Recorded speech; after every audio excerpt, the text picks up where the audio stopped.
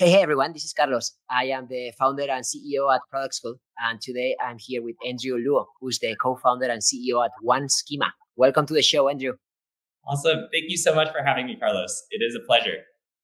I'm excited to have you on the show because man, your company is very incredible to me. Like the fact that you're literally building a category around CSV imports is fascinating. So maybe we can start with the, the founding story and that, that pain that you probably experienced importing some of those CSVs before. Yeah, definitely. And this is the kind of thing that, you know, every time we talk to an engineer or a product manager, they look at our product and they're like, oh, wow, I can't believe this exists. And also, I built three or four of these in my past life in different companies and all of that. Um, but of course, me myself, right? Um, I was one of the first engineers at a startup called Affinity. Uh, it was a CRM that you know, investment professionals use, um, many VCs, many investment firms uh, use Affinity. Uh, and for us, um, I was one of the first engineers there, led the core product engineering team, met the founders at Stanford studying computer science. Uh, and then, of course, uh, as we were working on the product, one of the first things we had to build was the onboarding flow. And as you might imagine, our goal was to disrupt Salesforce, right? Uh, and you know, make it possible for all of the customers that we had to, you know, hopefully have a much more seamless integrations and experience around actually managing their deals, their deals lists, and all of that inside of uh, you know their system and inside of Affinity, uh, a better platform. Uh, but of course, getting anyone onto our platform required them to export their opportunities, accounts, contacts uh, from the system. And you would think, I mean, we thought as an engineering team that there would be some sort of an API integration that was possible with Salesforce. Uh, turns out that's not the case. Um, there are too many custom fields, too many custom columns inside of that system. And so we had to build a CSV importer, right, uh, to actually enable our customers to upload spreadsheets uh, in order to even onboard onto the platform. Um, now, uh, we also, you know, being, you know, new grad Stanford engineers, we were like kind of, you know, very uh, had a lot of hubris. We had a lot of confidence. We were like, okay, we can build this in two weeks. We'll just take an open source CSV parser, put it in front of a Postgres database. No issues. We'll be done in two weeks. Uh, and it took, you know, four different versions and four different years of us building this to handle all of the edge cases, right? Things like, you know, uh, is October 10th, 2023 uh, does that translate to 10 slash 10 23 or 10 slash 10 2023, 10 dash 10? Is it in Europe? If it's in Europe, it's flipped, right?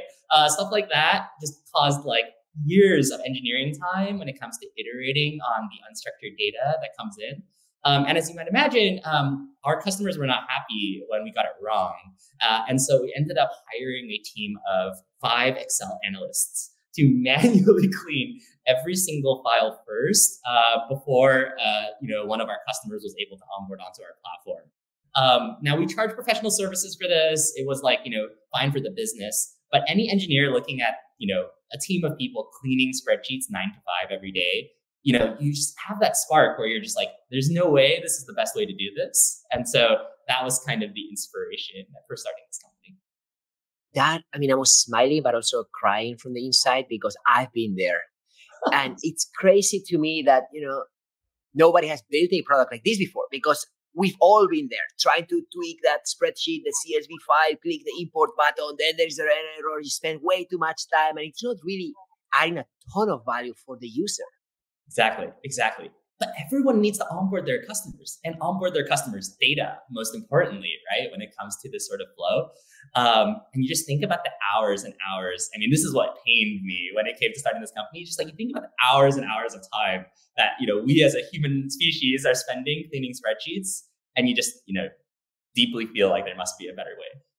So I can imagine that now with Gen AI, this has been able to, you know, this has been turbocharged, right? Yeah, 100%. So I think that there are a few ways we think about, obviously, you know, since, you know, a couple years ago, ChatGPT took the world by storm. Uh, and then, of course, um, as you think about this space of spreadsheets, you just open up every AI research paper and it starts with a benchmark, right? Of how does this LLM perform on this type of CSV?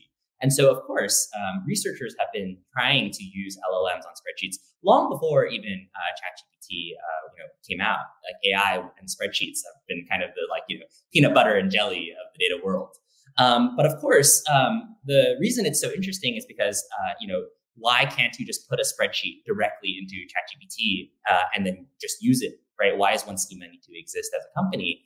Uh, it turns out, uh, actually, because of you know the way spreadsheets are, we sometimes handle spreadsheets with like tens or 20, you know, 30 million rows of data all at once. And that's quite difficult to load the entirety of that spreadsheet into an AI system. And so what we find for our product is the best way to use AI is to actually use it for code generation. Uh, so two aspects of our product strategy involve AI. Firstly, it's of course um, being able to create transformations on top of a spreadsheet. So things like that date uh, transformation that I just mentioned. Uh, addresses are quite unstructured; those are quite difficult. Um, and so all of those little pieces, I would say AI can is quite good actually at creating transformations that can be run on the spreadsheet. And then of course they use the atoms underneath the hood inside of OneSchema, like row merging and column splitting that we built uh, to make it performant. And so performance is obviously a huge issue. The second thing is actually recommendations. Um, OneSchema is a guided ETL experience. So you upload any unstructured spreadsheet into OneSchema and we guide the user through the process of transforming the data. It turns out AI is actually also quite good at recommending uh, which transformation to use. Uh, because in you know a library of transforms inside of OneSchema, we can have like thousands of transforms for accounting data, for HR data, for ERP data, right? All of these sorts of things. And so being able to find the right transform rather than having the user browse through a giant catalog of these, uh, that's another great use case for AI for us. Uh, but inherently, right, the industry being, you know, very AI driven uh, is also just a great tailwind for OneSchema in general. Uh, you know, AI is inherently like insatiable for data, and your customers' data is actually probably the most valuable data set for any company or any enterprise. And so being able to ingest as much of it into your system as possible, especially if it's unstructured like spreadsheets, uh, makes OneSchema really valuable for like a whole broader swath of use cases, which is really exciting. And for me, something that I still trying to wrap my head around is okay, AI is helping make data transfer of CSVs faster and better. Fine. But like CSV as a format has been around since forever right? And now there are other formats, APIs, webhooks, you name it. So why are we all still doing the CSV thing and there are no other formats that can potentially replace it? That is a great question. And that is a question that I think we all had too when we were first building a CSV importer. Like, surely APIs are going to, you know, replace the CSV soon, right? Like, you know, is it in the next year, next two years? When is that going to happen? And then, of course, right, like, you know, we have Snowflake and you know DBT and Fivetran and all of these other solutions. Why are CSVs still being sent around? Um, and you know, from talking to also a lot of folks in the space, right? It's clear that like you know, ten years ago, people thought that APIs were going to connect the world, right? When it comes to all of the business data. But you know, we're July 2024, the age of AI, and like you know, we're still emailing spreadsheets to each other. Uh, and so something feels a little bit like you know unintuitive about that. Um, I think the contrarian viewpoint that is at the core of OneSchema is that CSVs are going to be here to stay. Uh, you know, anecdotally, Excel is the number one ETL tool in the world still, right? Uh, when it comes to how people move business data around. Uh, and I think the key insight uh, behind our company is that when it comes to internal data transfer, right? You know, the average SaaS company or every average enterprise company today has like 300 SaaS tools or something insane like that. And the way people connect those tools internally does tend to be using like, you know, data warehouses, APIs, these sorts of things. But the trick is cross company data exchange is really difficult because the two parties holding the source and the destination schemas don't actually agree, right? You can send data from one Salesforce to another and they are completely different schemas. And the trick is that there are non-technical people owning that cross-company relationship. It's always support people, CSMs, professional services, AEs, right? And the truth is they don't read JSON. And I mean, none of us really read JSON, even engineers. Uh, but like, you know, especially for, you know, you know, customer facing roles, right? Uh, and that's why spreadsheets are so persistent. That's why it's way easier to just send a spreadsheet to your customer uh, and then make it that, make that workflow. And so, actually, uh, one of our advisors um, was the chief data officer of a Fortune 500 company, uh, where you know half of the employees in the United States are employed on their platform, and actually 90% of the data going in and out of that company still happens through files. Um, whether it's banks sending files, whether it's you know uh, HR systems sending files, it's still files, despite you know having a massive API marketplace. Uh, you know, something like you know hundreds of millions of files still get sent into that. Yeah, yeah, that's a good point. I mean, it's also like it's less, it's easier, right? It's less technical. Everybody's familiar with the attaching a file to an email or, or similar, but not everybody is familiar with connecting to APIs, even if it's in a visual form that doesn't really require a lot of uh, technical expertise. Exactly. And that's what makes it expensive, right? To build integrations. Um, if you have to build an API connection, you need engineers to do that. And yeah. Uh, I mean, no product manager wants to use their engineering resources building one-off integrations to every customer, right? But let, us talk about some of the, the, the craziest or the, the biggest uh, examples that you have of like companies how they're leveraging these type of integrations for you know to drive business outcomes. Yeah, great question. So we work with one of the large credit bureaus, actually, um, and you know, I mean, a lot of folks think about OneSchema and they think of you know Silicon Valley tech companies, right? Uh, you know what they use, you know CSV imports for, and you know that is a very common use case. But especially what we found is that actually outside of tech, right, is where the biggest pains in CSVs actually exist. Uh, and so, yeah, one of these examples, one of our customers, one of the large credit bureaus, uh, actually, uh, for the purposes of actually calculating their credit scores, right? How do you do that? You actually need to ingest uh, the accounting and accounts receivable data from all of the different, you know, folks in type, inside of a credit organization or a or a credit um, uh, group, right? Uh, in order for them to actually determine uh, whether someone is a good customer to partner with, whether someone is a good lender, uh, actually all of them together send all of their financial data into a credit bureau so that they can actually manage the credit scores for everyone in that credit group. That is one of the craziest use cases that we've seen because the accounting systems, right, whether it's QuickBooks, Sage, SAP, none of them agree, even on like how the money is actually laid out. Is it like one to 30 days overdue, one to seven days overdue, one to 14 days overdue, and how it's even sliced out in terms of time buckets um, needs to be normalized into a standard format so that you can actually process a credit score. Uh, that's the, the, output is basically just does this company have good credit? Does this company not? Um, and in order to process that, you actually have to ingest on a you know daily or hourly basis, right? Like all of these files, and it turns out they have to be files um, from like you know the thousand companies that are within this trade group. Yeah, I love what you said about being a tech company in Silicon Valley sell, selling outside the, the Silicon Valley tech bubble. I resonate with that. That's part of what we do as well. And when we go out there and start training or, or, offering our services to large companies, they they speak a different language, and I think it's important for us as vendors to also speak that language.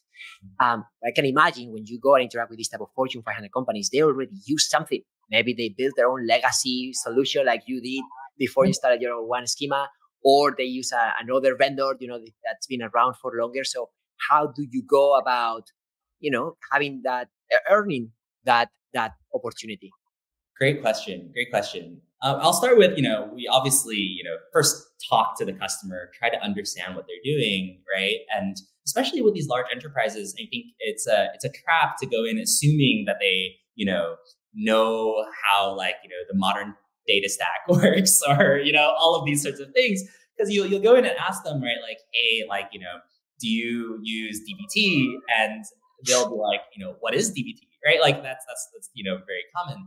And so actually, it's really just a, a an, you know a, a, consultative kind of, of sale, right? When it comes to these sorts of companies. Um, we've seen everything from I still have a team of 50 people using Excel macros and VBA scripts uh, doing this process. Uh, sometimes people do use some of the legacy ETL providers, things like you know Informatica, you know Boomi, these sorts of you know older, you know not even quite cloud native ETL tools. Um, but actually, uh, the majority of people are actually writing, you know, scripts, right? Uh, C sharp scripts, Python scripts. They have a Git repo of like 500 of them.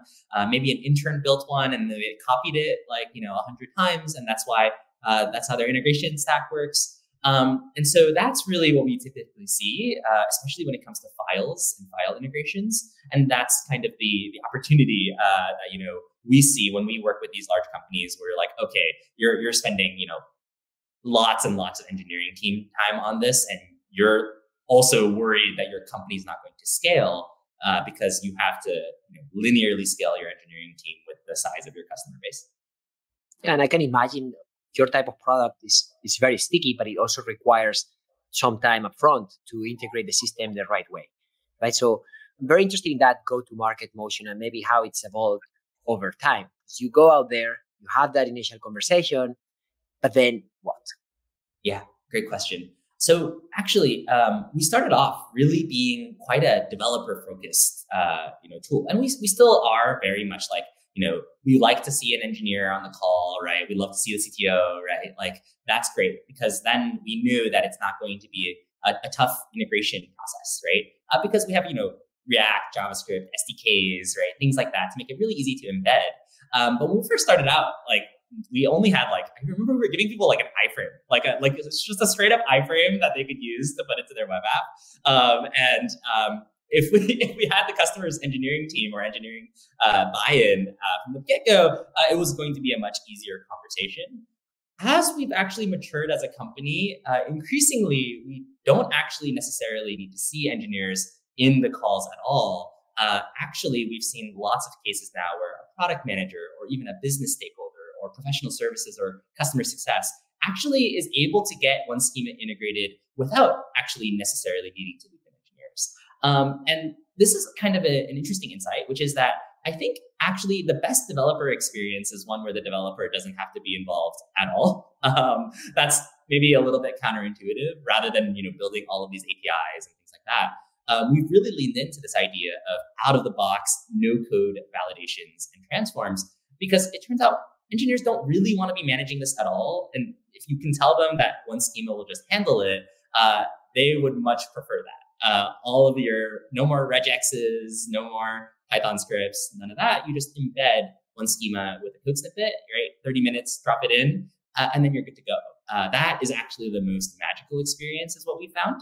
Um, and so, actually, our go to market motion has accelerated. Our, our sales cycles have gotten shorter as a result of actually trying to build out more and more of the modules inside of OneSchema no code so that the PM can do it, like the designer can brand it now without needing engineers to like, you know, write CSS. Uh, the more that we've done that, actually, the smoother and faster uh, our go-to-market motion has been.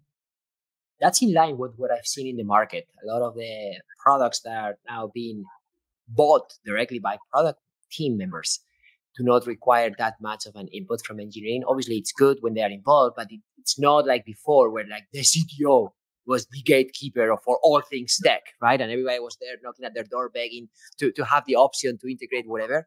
Now there's a thing that, that power has been democratized much more, and especially business people, product people are able to even play with those tools and have their own use cases where they can hopefully get some value and then use it as a, a stepping stone to, to do a wider integration.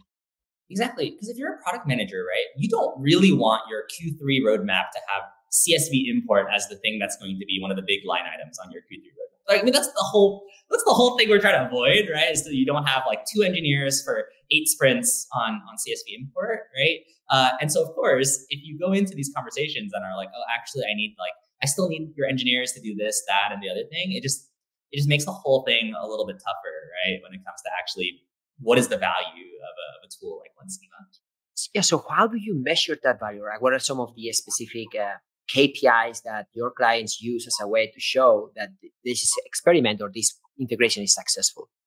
Great question. So obviously, engineering team time is is, is huge, right? Uh, build versus buy. Uh, we think a lot about that trade off, and so in service of that, our product strategy has been very much around. We want to make sure that you, as a product manager, when you partner with OneSchema, within 30 minutes, you can go live with OneSchema, right? Your CSV importer is live, your schemas, your validations, your transforms, all of that can all be set up within the time span of 30 minutes. And we do this with you on a call uh, and show you how easy it is to actually go in and embed that. That is, I think, the number one thing, right? Because it's not just engineering team time when it comes to the cost, but also oftentimes people are launching new products when they're trying to use a CSV importer. It's the onboarding experience. You can't actually launch without it. And so people also think about it as how quickly can I launch my new product and go to market? Right? Uh, I have a new differentiator. I have a new, you know, product feature that needs a CSV importer. Can I actually launch in, you know, one month instead of three because I've partnered with OneSchema? That actually matters a lot to people.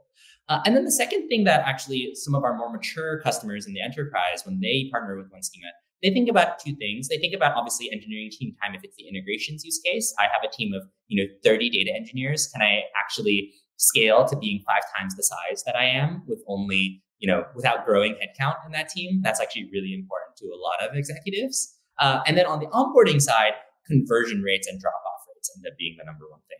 Uh, a lot of people build their own in-house CSV importers they don't really have errors. you upload a CSV and then they basically email you saying like, "Hey, it didn't work. Like, row one failed. Please try again." Uh, and so uh, we end up seeing that there are people uploading CSVs like eight, nine times, trying to get it into a system, um, and then dropping off, and then creating a support ticket uh, saying, "Hey, I, I got stuck." And so that and that process ends up being the other big KPI. Like, what is my drop off rate? um, and what percentage of my customers can get uploaded and onboarded in, in one shot. Uh, and we strive for something like a, you know, 70% of customers uploading a file can get it in cleanly in one shot without needing to actually like, you know, fix the file again and. So that's like the, the other KPI that matters a lot. Yeah, and I, I think that is key because I've been there before, right? Where I don't know, customer support would say, Oh my God, we're spending a lot of time importing these tickets or someone in marketing would say, we have this list of leads and we need to put them on Salesforce. And I'm trying to assess, okay, what's the actual business impact? Like, do I really need to bring a sales ops person or an engineer to really automate this? Or can they survive and can the engineers spend time somewhere else? So I think translating those pain points into business and showing a business outcome that a business person is going to understand to actually prioritize instead of seeing a line on the roadmap that says maintenance or as you said, like CSV integration. Right. And the truth is the customer success team is probably bugging the engineering team already today, right? Totally. Uh, the problem is the engineering team is probably not prioritizing it either. And so I think a lot of cases the engineering team finally decided to go and prioritize it after maybe like what we saw was like, you know, quarters and quarters of customer success and support being like, hey, like this is really painful. Please, can you prioritize this? And then it eventually gets onto the roadmap. At which point, hopefully, right, someone is like, oh, there's a better solution for this. We should just solve this once by partnering with OneSchema. So I feel like definition of the idea data stack has evolved constantly, right? Like the, the start of the CDPs, customer data platforms, different types of ETLs, APIs, and all, the things in between, like the data warehouses, the cloud, now Gen AI. So could you paint a picture for what the ideal data stack should look like? Yeah, great question. So obviously, I think you know the modern data stack is is great, and obviously Snowflake, BigQuery, Redshift, all of these data warehouses, I think serve as the HQ right for all of your internal data. Uh, the tricky thing is that I think people, when it comes to using this modern data stack, are almost like using it also for data transfer external to them. And that's where I think people run into trouble. Because when it comes to the data warehouse, the way it works is that all of your internal systems, you use, you know, an ELT provider, Fivetran, Airbyte, what have you. You mirror the data into your warehouse, and then you use, you know, what, what I call like the layers of the onion of DBT, right, uh, to basically transform each and every bit of it into your gold standard of clean data and what that means to you in the warehouse.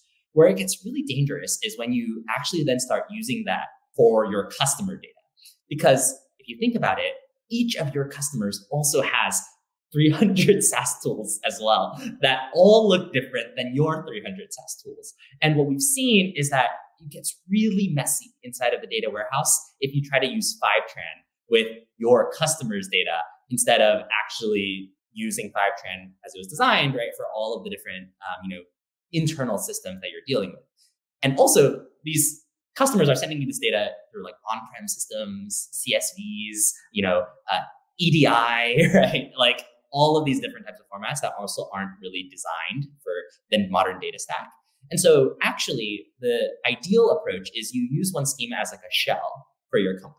Uh, this is like the data governance layer that protects your company from the outside world. Uh, and the way we see it is like large enterprises, like maybe like a, you know, like a Kraft Heinz, right? Uh, the vision for OneSchema is to be the de facto platform for all cross-company data exchange. Uh, OneSchema can wrap every upload button inside of your application. It can wrap every SFTP server that you use to receive data, every API endpoint that receives files, every you know uh, email server that is actually receiving spreadsheets.